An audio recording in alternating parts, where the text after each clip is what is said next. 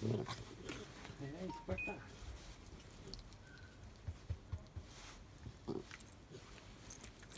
Ja. Stoeien. Tommy. Hmm.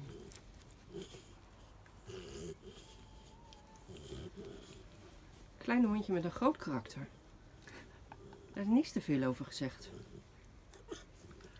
Nou, dit is dus zijn dagelijkse bezigheid. Hmm.